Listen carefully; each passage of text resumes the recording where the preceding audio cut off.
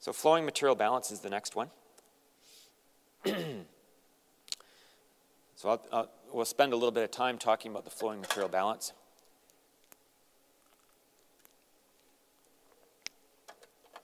In the discussion earlier on of the analytical solutions for boundary dominated flow, uh, we used the concept of pseudo-steady state.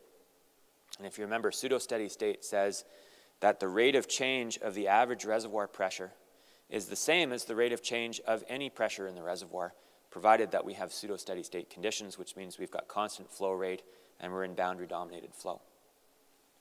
And we showed how we can use that principle to create this concept of a flowing material balance. What I'm going to do now is extend that concept a little bit further, uh, and I, I, think in the develops, developments that we talked about earlier, we really only used it for oil, and we generated a flowing material balance uh, plot for oil. Um, we're going to extend the concept now for gas and create uh, this P over Z uh, formulation. And the advantage, of course, of doing a P over Z type uh, interpretation is that everybody knows a P over Z, uh, a classical gas material balance analysis using P over Z versus cumulative production.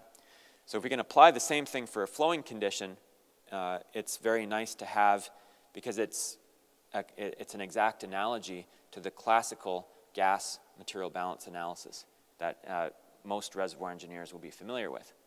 This concept uh, is not new. It was first proposed uh, in 1998 by Louis Mattar and Ralph McNeil, who are both at Fekete Associates.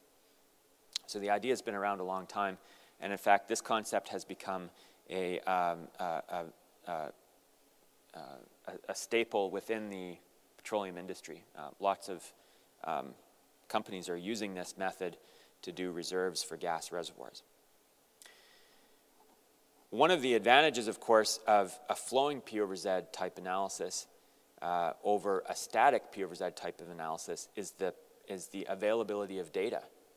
In many cases, particularly in the US, there may be no shut-in data available, and all we have access to is the flowing data.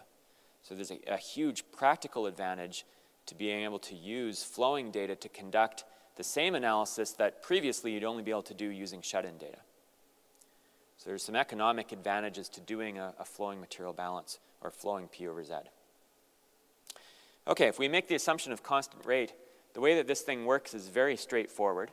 Uh, we simply have constant rate production and we'll simply record the flowing pressure and this can be at the wellhead.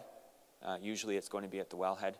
Um, if we want to make it a little more accurate, we can convert it to bottom hole conditions, but you'll get the same trend even if you don't convert it to uh, bottom hole conditions. So we can measure the, the, the flowing pressure at the wellhead. Uh, the Z factor is easy to get. Remember, uh, you know, Z is just a, a property that can be looked up in a table. If I know the pressure and I know the gas composition, the temperature, I can find the Z factor. So I can get this number. I can plot these data. Um, if I'm in boundary dominated flow and all everything's working the way it should, this should make a straight line. And the straight line will have some sort of slope. It's the slope that I'm really interested in. Okay, once I know the slope, I can simply shift the whole thing upwards. And uh, the other piece of information that I need to know all the time, probably the single most important piece of information for any sort of reservoir analysis is the initial pressure. If you don't have the initial pressure, um, there's going to be a lot of uncertainty in anything that you're going to do. Okay, even if you've got good production and flowing pressure data, you always have to have the initial pressure. So if I have this slope and I have the initial pressure, I have now created effectively that flowing or that material balance or P over Z line, uh, which declines and can be extrapolated down to the original gas in place. Now, this line would normally be uh, interpreted and uh, discovered by plotting shut-in pressures at discrete points in time after certain cumulative volumes have been produced. But if we don't have availability of that data, uh, this is the next best thing. So that's the concept. That was uh, Louis Mattar and Ralph McNeil's original concept of the flowing gas material balance.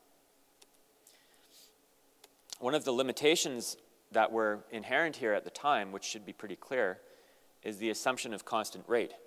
Uh, the minute that I start to change the production rates, uh, this graphical procedure doesn't work anymore. Okay, so for example, I've got maybe something close to constant rate here, but then I'm flattening out the pressures. Uh, maybe the well has gone into a constant pressure decline at that point in time. I can't simply use the same graphical procedure that I was using before. So this doesn't work.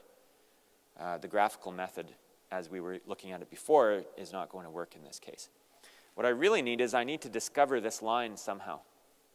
Okay, but now I, know, I no longer have an easy slope to gauge where that line is. So how am I going to do it?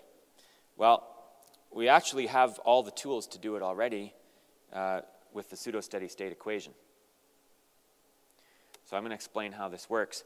This equation describes the relationship between the average reservoir P over Z and the flowing P over Z. And uh, um, it's a simple relationship, and we know this from the pseudo-steady state equation already. The flowing P over Z plus some constant, and just, just by way of a, a, a little bit of an explanation here, um, this equation is an approximation. Uh, the numbers that should really, if you want to be accurate, the numbers that you should be using here are the pseudo pressures, not P over Z's. The reason why we use P over Z is because it's a little more intuitive. Everybody knows what P over Z is and what it means. Pseudo pressure is a little bit more abstract. Okay? But when we work with these things inside the software, we're actually using the pseudo pressures. But we, dis we display them as P over Z's because that's what people are used to seeing. All right, so to get our flowing pressure up to the average reservoir pressure, we have to add this constant. And the constant is the product of the flow rate and the B pseudo-steady state value, which is the inverse productivity index that we talked about earlier. So this, this guy is sort of the key parameter. We know the flow rate, we know the flowing pressure, but we don't know the B pseudo-steady state. You can't get it just from looking at this plot. We also don't know the average reservoir pressure. So we have one equation and two unknowns. So um, at first glance, we're, you know, no, but we do have another constraint or another, uh, another equation that we can apply to this. And let me explain how that works. What you're looking at here is our P over Z flowing plot. So that's easy to plot that data. That comes straight from the spreadsheet of production. And what we're going to do is take a little bit of a leap of faith to start with and just take a wild guess at original gas in place. Okay, maybe cumulative production plus 20%. Okay, so we're going to take an, a, a stab at what the original gas in place is. What we're next going to do is plot that straight line. Once we know, once we've estimated this, we know the initial pressure, we can estimate this, or we can draw this line. We know it's going to be wrong, but we're going to draw it anyways. The next step that we're going to do is calculate all the B pseudo-steady state values. Okay?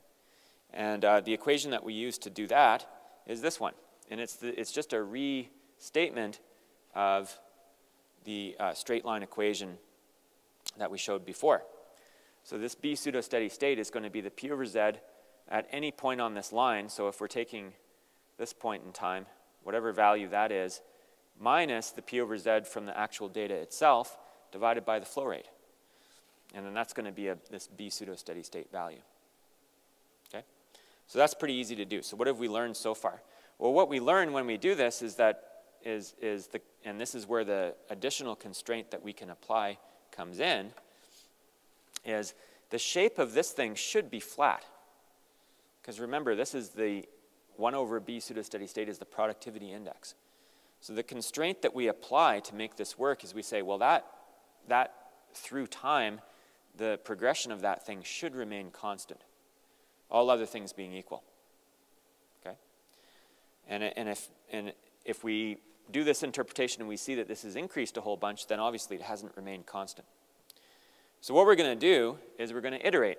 We're going to increase the gas in place and make a different uh, plot and hopefully get it to the point where this, one, this B pseudo-steady state number becomes flat, becomes constant, and then we have the right answer. So 1 over b pseudo-steady state should tend towards a flat line. We iterate on original gas in place until this happens. Final step is, is we actually go back from the raw data and produce the true P over Z, the actual static or equivalent static P over Z data based on the raw P over Z data that we have. And we do that using the same equation. So this stuff is all generated using the same equation. So the P over Z data now is P over Z flowing plus Q times B pseudo steady state. We now know what this constant is because if you remember, we went back and we actually can measure it right there. Okay, so we know what that number is. We simply multiply that by the flow rate. We add it back to the flowing pressure, and then, and then we get our data. And that's really the flowing P over Z uh, formulation. That's how it works. Um, to quickly illustrate, because it may have may look a little bit better when we can see it done dynamically, I'll go back to my, my uh, boundary dominated flow example and illustrate how this looks in the software. Okay, so we start with our flowing pressure. That's our productivity index plot. And I'm plotting the flowing uh, pressures or the calculated flowing P over Z pressures on there as well. If I have interpreted the incorrect original gas in place, okay, that was our first estimate, uh, the shape of that B pseudo-steady state plot is incorrect. If I interpret it being too large, then it's still incorrect. It's going down now. What I really want to do is get it so that it's flat. So the correct answer comes from a straight line that makes that curve flat. And of course, this data should be along that line as well. That's the other indicator. If I've chosen the wrong path for that straight line, then it will be inconsistent with the shape of the calculated P over Z data. So it's usually pretty easy to find the right answer once you bring all these curves together. Um, you can actually do this with a best fit if you want to. It's a straight line best fit of the data. There we go. Hopefully that gives me a, uh, a flat productivity index, and now we have the right answer for original gas in place. So the P over Z, again, it's designed to be a um, uh, alternative for a static material balance analysis when we don't have the static data. So it's a very nice practical alternative when all we have available is flowing rates and flowing pressures. Now, of course, there's a huge amount of value if I have both. Okay?